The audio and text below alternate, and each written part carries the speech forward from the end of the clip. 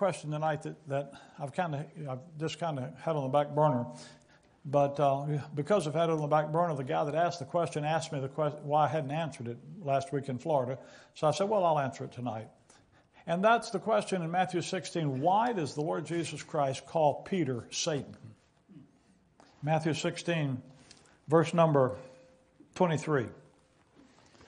But he, that is Christ, turned and said unto Peter, Get thee behind me, Satan. Now, why in the world would he look at Peter and say, call him Satan? Well, especially in light of what he just taught back in verse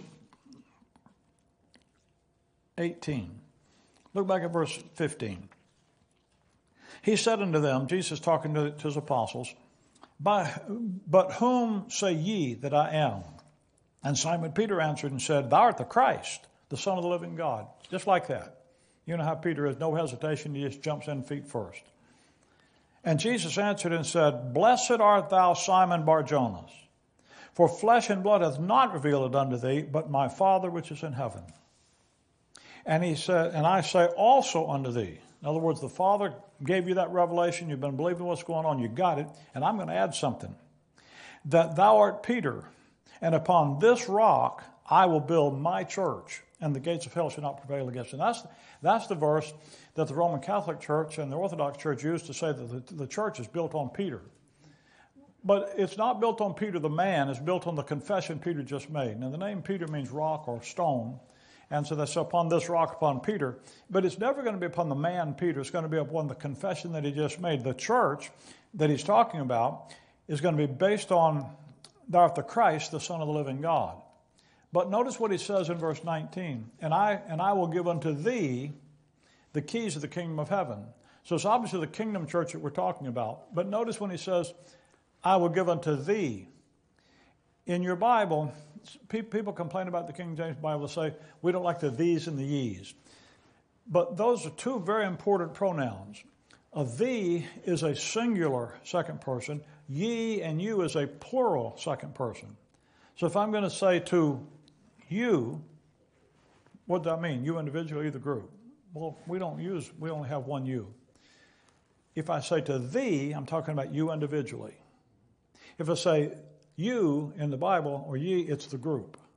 So one is singular, one is plural. So he says, I say unto thee, that's Peter. I will give unto thee, Peter, the keys of the kingdom of heaven. And whatsoever thou shalt bind on earth shall be bound in heaven, and whatsoever thou shalt loose on earth shall be loosed in heaven.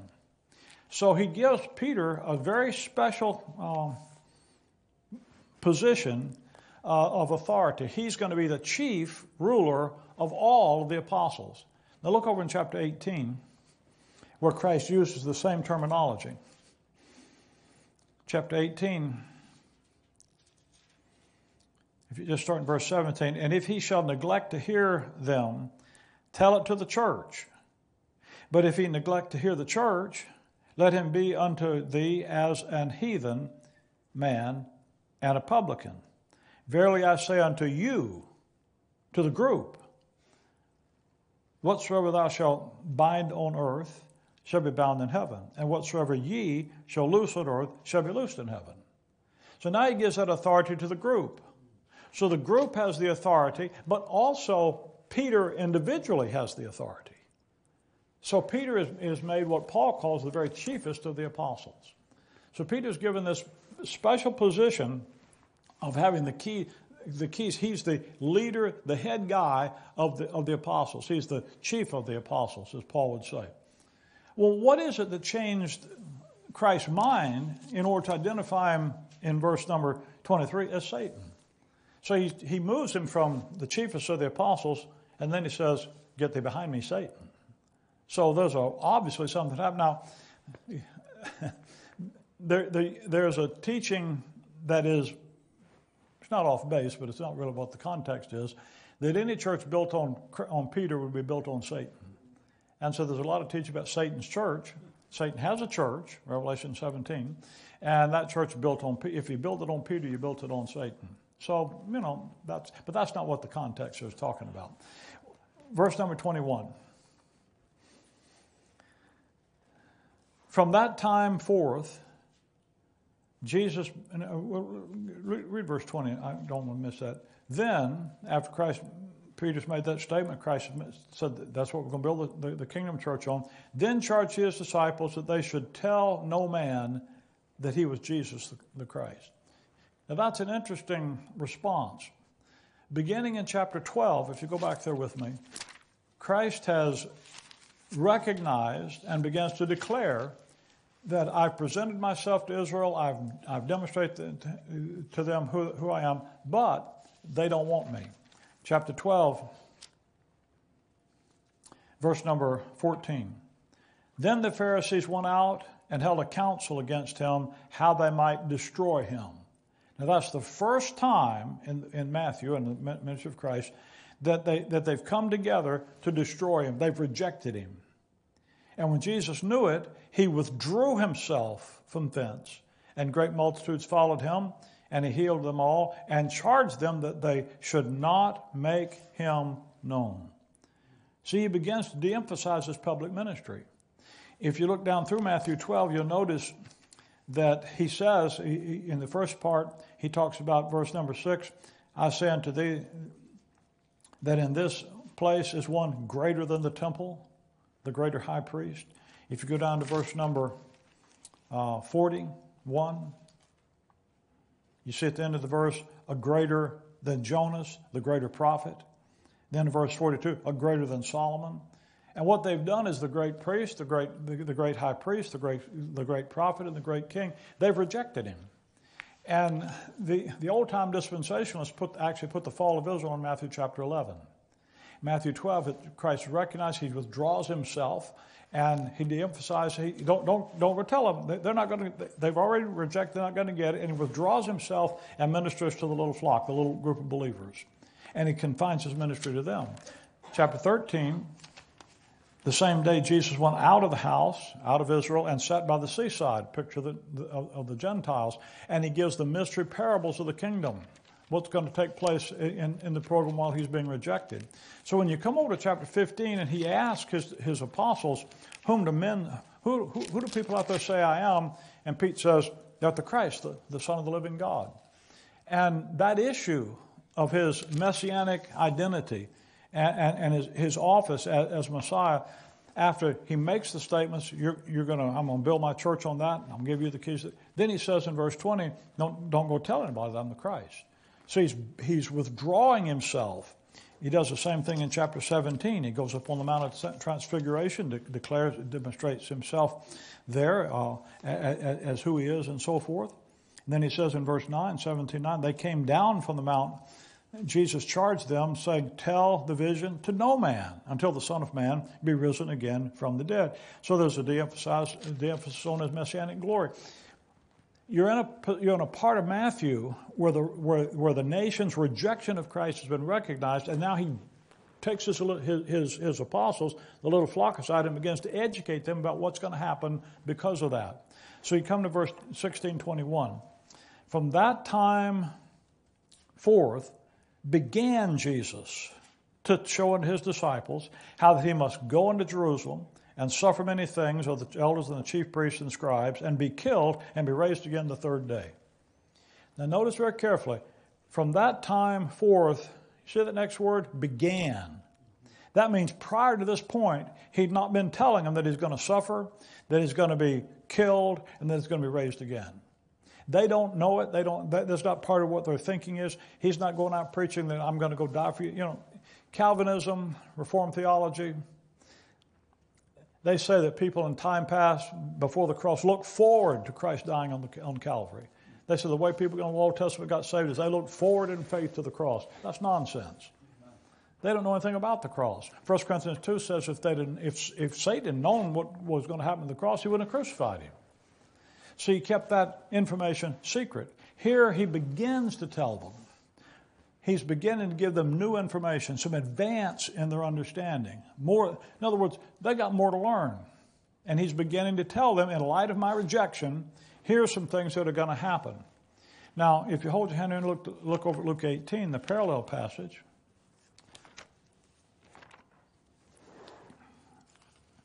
Luke 18, 31.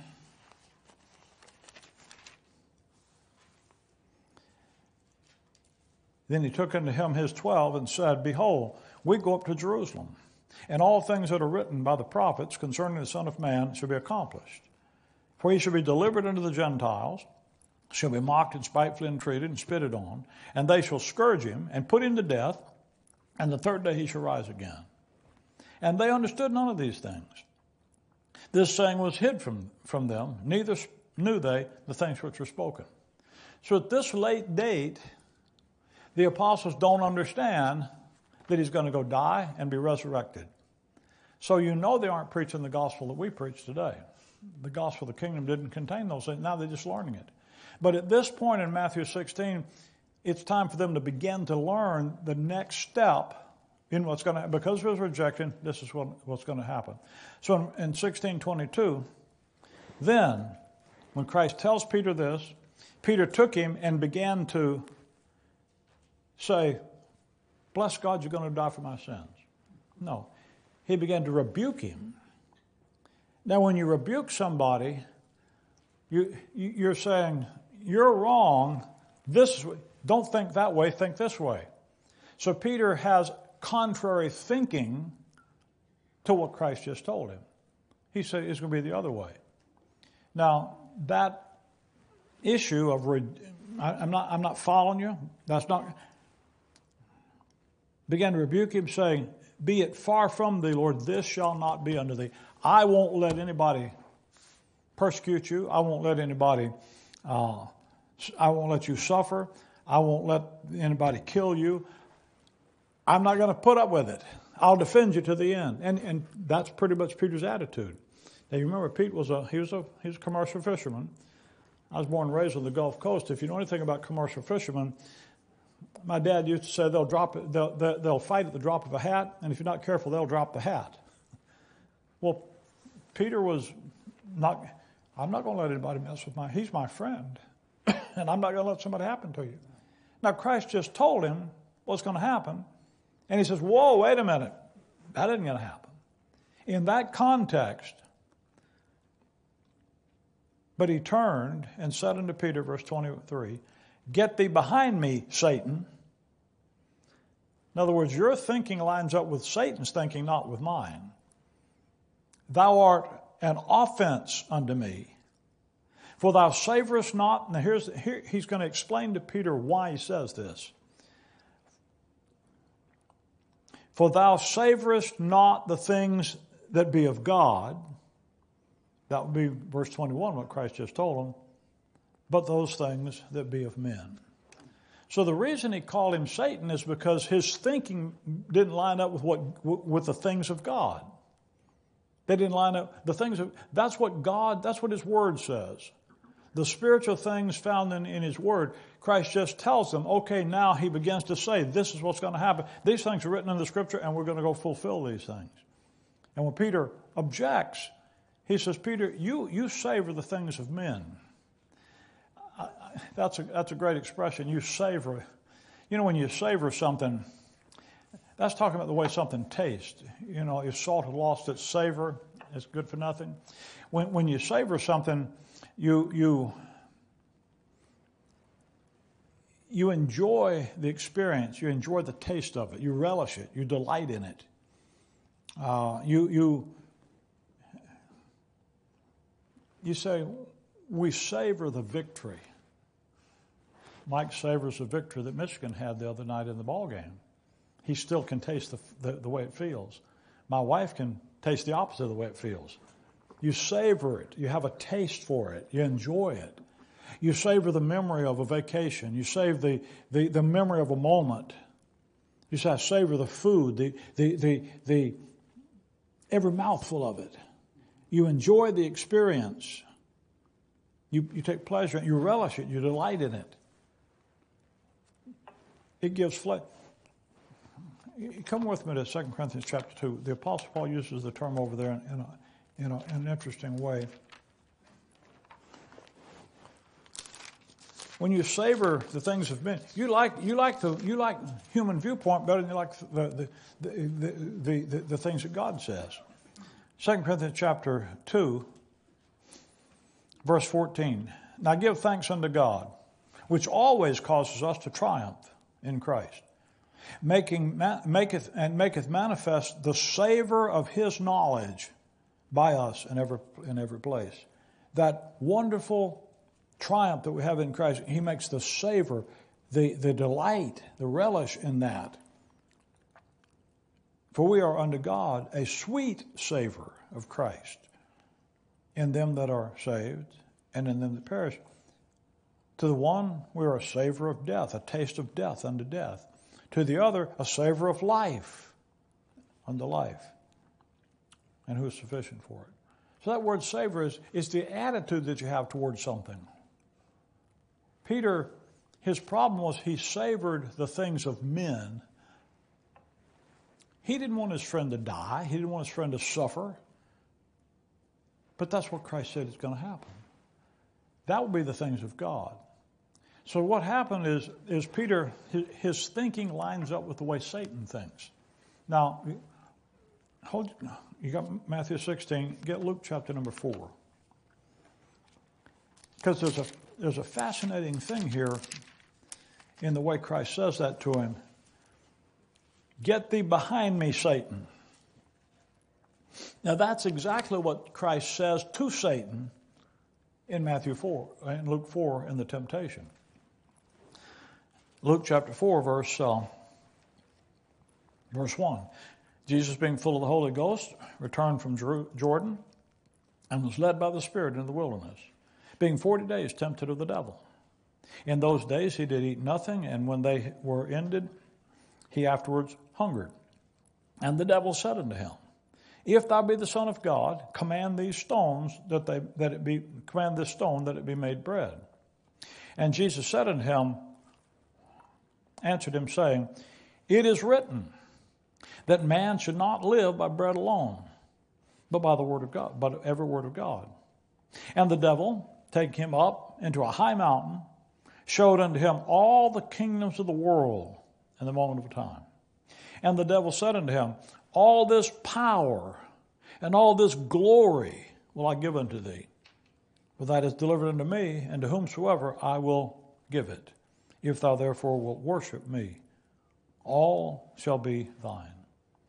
The power, the glory, the things that man, human viewpoint, glory in, revel in, savor. And watch what Christ says. Jesus answered, verse 8, and said unto him, Get thee behind me, Satan. That's exactly what he told Pete.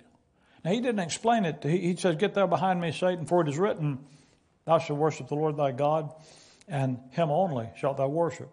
He doesn't explain to Satan what he explains to Peter. He tells Peter why he says it. But the, my point is, Satan's, the very rebuke that Satan gets from Christ, Peter is, so what Peter's doing is he's, he's saying the same thing Satan said in essence.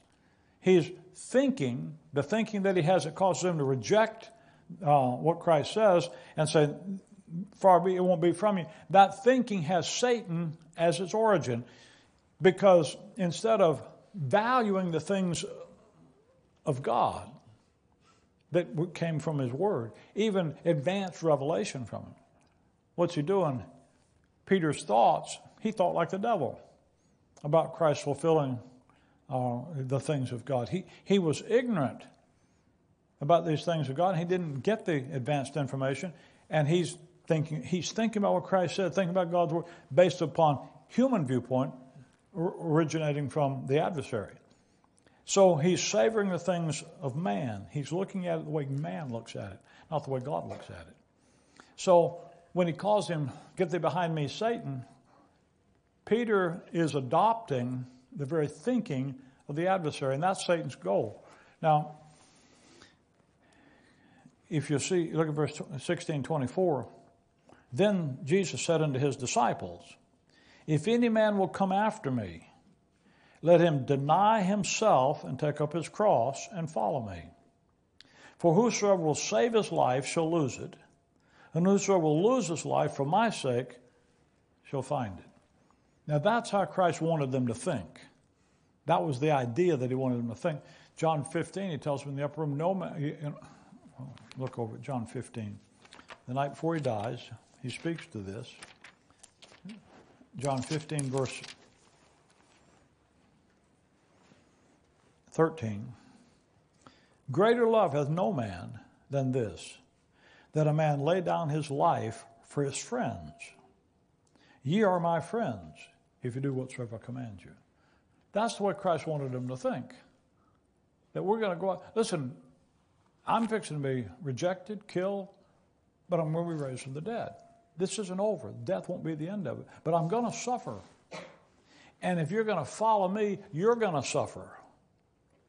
There's, there, there's tough times coming. Look with me at Luke chapter 22 because there's another time when Christ warns Peter about Satan. In Luke 22, this is the night, this is the, the, the, the evening before he dies. Luke chapter 22, verse 31. And you notice the context. They've had they've been in the upper room. They've had had the the uh, Passover meal, verse 14 and following, the, the institution of the Lord's Supper in verse 19 and 20, and, and he talks to them about his betrayal and so forth. And you come down to verse number 31. And the Lord said to said, Simon, Simon. Now in the Bible, when you see a name repeated twice, it's to emphasize the emotional depth of what's being said. There, there, there's, there, there's a, a, a, a, seriousness about it. There, there's a, a, emotion attached to what's coming. Jesus said, Simon, Simon, behold, Satan hath desired to have you, that he should sift you as wheat. Christ knows that Satan has permission to sift them. He has permission to test them. And you notice it's he hath desired to sift you that's the, the apostles. That's the little flock. There's a testing coming for them. And Satan, like, like Job, God gave him permission to test to, uh, Job, to try Job. He's going to give Satan permission in the time of Jacob's trouble to do the same with the little flock. Christ knows that. And he tells Peter, and by the way, you remember back in, in Matthew, he said, I'm going to give you the keys of the kingdom of heaven, give them to thee. Notice verse 32. Verse 31, it says, Satan hath desired uh, to have you. And by the way, he wants to discredit Christ. He wants to take that little flock and to destroy the kingdom program by discrediting Christ's followers. If you hold your hand and look at Hebrews chapter 6, that's what Hebrews 6 is about. Hebrews 6, verse uh, 6, for example if they shall fall away.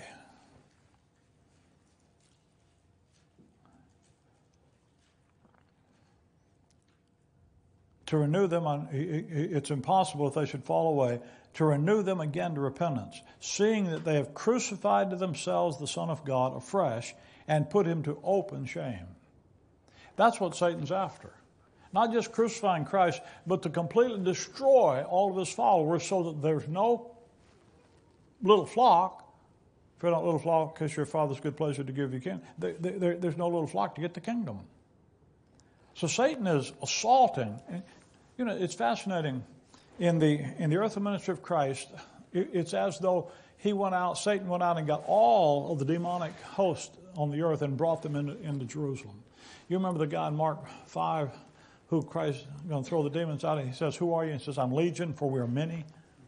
I mean, he's got, a legion is supposed to be a couple of things. He's got a myriad of demons in him. In other words, there weren't enough Israelis in the land of Israel for each one to have one demon. There are too many demons. so one guy's got a bunch in him because it's just, there's so many. He literally brings them all back into the land because there's a contest going on for the land. And Satan has got, he's got his forces there uh, t- taking possession uh, of, of, of apostate Israel. So when he talks about that, verse 31, Satan desired to, to have you that he might sift you. And look at verse 32. But I have prayed for thee. That's Peter. He didn't pray for the whole group. He said, Pete, Satan desires to have the little flock, the apostles' little flock. But I've prayed for thee, that thy faith fail not, and when thou art converted, strengthen the brethren. So he's praying for Peter, knowing that some bad things are fixing to happen, but beyond that, he's going to restore him. Now, the bad things, verse 33, he said unto, unto him, Lord, I am ready to go with thee both into prison and to death. So he's gotten beyond where he was in Matthew 16. And he said, I tell you, Peter, the cock shall not crow this day before that thou shalt thrice deny that thou knowest me. The Lord said, You know, Pete, you're just trusting in your own strength. And you're going to deny me before the clock crows three times. Well, you read down through the passage, and that's in, that is, in essence, what he does. And you see that. So you come down to verse 60, and Peter says, Man, I know not what thou sayest. And he just, no. and immediately, while he yet spake, the cock crew. Now watch. And the Lord turned and looked upon Peter. He doesn't say anything, he just looks at him. The Lord's walking across the precipice there from the judgment hall to the judgment hall. The cock crows, Peter denies, and the cock crows, and the Lord just looks out. Now, if he had if he had spoken and said something, even a single word or sound, he have betrayed who Peter was. He doesn't do that. He just, for one moment, in one instant, looks at him. Their eyes meet, and obviously conviction occurs. And Peter remembered the word of the Lord, how he'd said unto him, Behold, before the cock crow, thou shalt deny me thrice. So now Peter remembers verse number 31, 32, and 33. And in that moment, what does he do? Peter went out and wept bitterly. That's when Peter was turned around, converted. Now, what do you do? Go strengthen the brethren. So he gets the exactly the situation there. When thou art converted, strengthen the brethren. What do you do? You go and you point them to the things of God, not the things of man. So when you come to the early part of the book of Acts, who is it that stands up for the day of Pentecost and speaks? It's Peter. Who is it in Acts 3 that's preaching on the, on, on, on the temple steps? It's Peter. Who is it? He comes and he takes the truth of God's word. He begins to take the things of God and use them to strengthen the brethren. So why does why in Matthew 16 does Christ call Peter Satan? Because at that point, rather than trusting the things of God that he didn't understand, that he's just beginning to have revealed to him, he savored the things of men. He, he valued man's viewpoint, man's things, more than he valued what God valued. That thinking comes from the adversary. That's exactly the thinking that Satan used against Christ. And, and he says the same thing to get thee behind me, Satan. But he explains to Peter why. He says the, the problem is you're not, you're not trusting the, the things of God, you're valuing the things of man more. And then the next time he says, you know, Peter, you've got to understand what you're going through. Satan wants to do that to the whole, the, the whole of Israel, the whole of the little flock. And I've prayed for you. It's a wonderful thing to have God pray for you. you know. And that's exactly, you have God praying for you, actually praying with you, Romans chapter 8.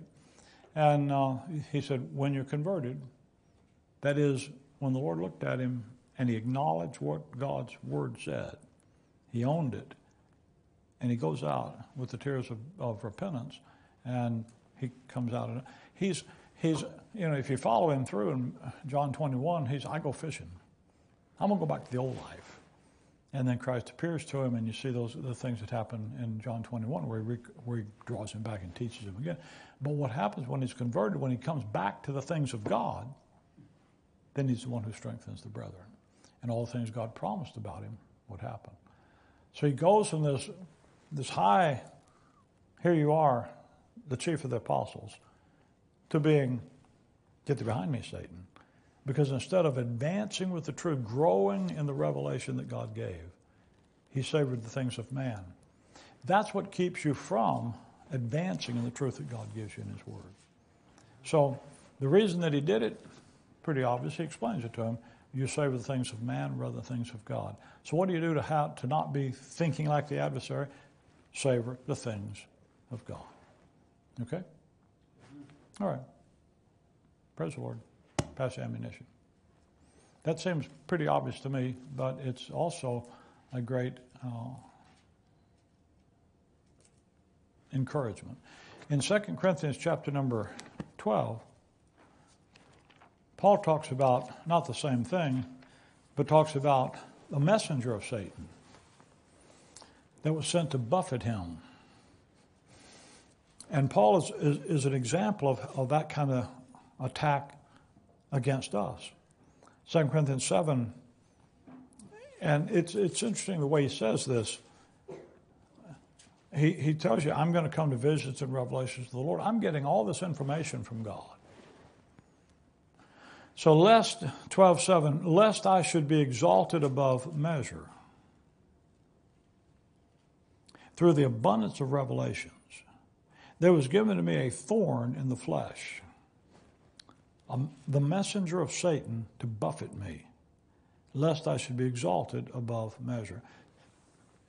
He allowed Satan to attack the apostle Paul and give him a thorn in the flesh, something that just buffeted his flesh, his earthly thinking.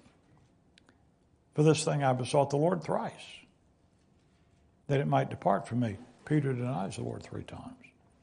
And he said unto me, and this is that's the key. The answer is in what God says to you. My grace is sufficient for thee.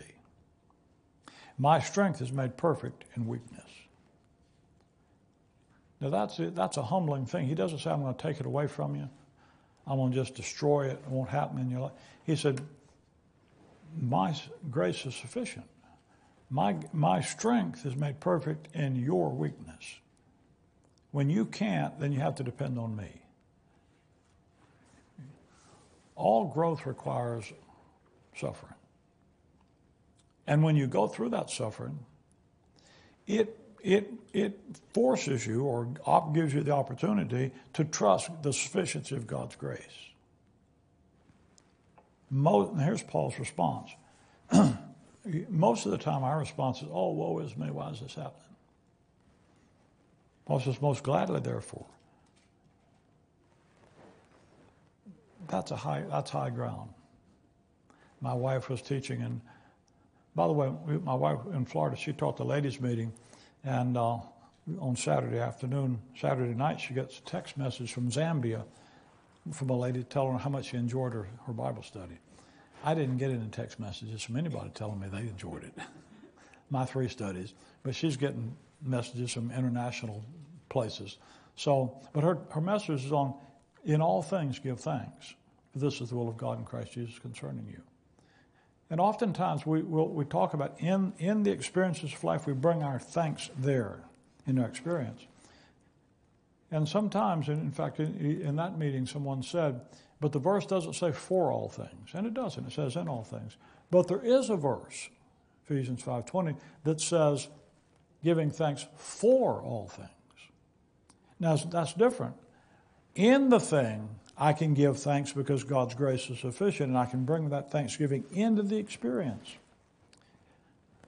But Ephesians 5, one of the characteristics of being filled with the Spirit, having your life under the control of the love and grace of God through His Word, is that you're able to, for the experience. Now that's, that's, it takes a mature viewpoint, a grown up view that sees the whole picture to see how this suffering right now in which I can trust God's grace and find it sufficient. But I can back up and not only just see the, the, the grace of God that's sufficient, I can not just in it, but I can actually see that it's good that it happened to me for it. Now that, that's a mature viewpoint. That's a, I say mature, that's a viewpoint where you've got the whole picture of what God's doing. It's not just this moment, and it's not just me. It's here's what God's doing in the big picture of life, the big picture of, of what He's accomplishing. And this is working out for things that, that uh, not just help me, but will help provide rewards and, and testimony in the ages to come. So when Paul says, Most gladly, there, therefore will I glory in my infirmities, that the power of Christ may rest upon me, he's thinking about more than just right now. Your life, my life, is more than just what happens now. We forget so often that salvation is not just that I'm going to die and go to heaven. Now, that's true. That's good news. But there's a life after that. In other words, there's a resurrection. Because you're not going to just live in heaven forever and, and die and go to heaven. You, you have a resurrection. You're going to get a glorified body. And then you're going to have a job in the, in the heavenly places functioning in the exaltation of the Lord Jesus Christ before the government of the angelic creation all through eternity. Just like Israel has specific jobs here, we're going to have specific jobs up there. Just as He glorifies the, the Messiah here, we'll glorify Him in the heavenly places. There's, you've, got a, you've got a wonderful, active future. That's a good thing. And Paul says, most, I understand what's going on, so most gladly, therefore, I glory in my infirmities, that the power of Christ may rest in me. Therefore, I take pleasure. There's the four in infirmities, in reproaches, in necessities, in persecutions, in distresses, for Christ's sake. For when I am weak, then am I strong. Look at all those things. I take pleasure in infirmities, weaknesses, lack of abilities, in reproaches, in necessities, in persecutions, in distresses. You know, that's a list of some really tough things. Paul went through all of that. And he didn't, he didn't say, I'm just I'm griping and grumbling and grousing about it. He said, you know what? I know how these things fit. I take pleasure in it. I can thank God for them, not just in them. I thank Him in them, but I can thank Him for them. Why? Because when I'm, when I'm weak, then am I strong. Because, and by the way, you're doing it for Christ's sake.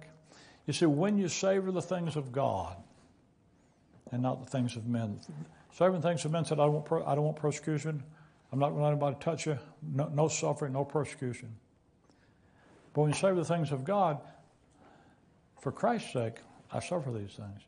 Then there's a different attitude. So you and I can have that same attitude that uh, Paul had. And in the face of the satanic attack against us, that's the way we, we, we, uh, we, we, we function through it. I'm become a fool in glorying. You have compelled me, for I ought to have, have been commended of you. For in nothing am I behind the very chiefest apostles, though I be nothing. Truly the signs of an apostle. So I, I read that verse to kind of connect you back. Things except for the chiefest apostles back there in Matthew 16, Paul says, I'm not behind any of that. Just like Satan attacked him, he attacks me. He'll attack you, trying to stop what God's doing in us today for the testimony of Christ we can just relax and say God's grace is sufficient. In our weakness, His strength is made made, made uh, strong. So, why did why did uh, Christ call Peter Satan? Because he was he was expressing the uh, uh the philosophy of Satan. He was saving things of men, not the things of God. Don't let that be true of us. Okay? Any questions? Anybody want to correct anything? Oh, we don't have time for that. Sorry. All right. Well, praise the Lord. Be careful going.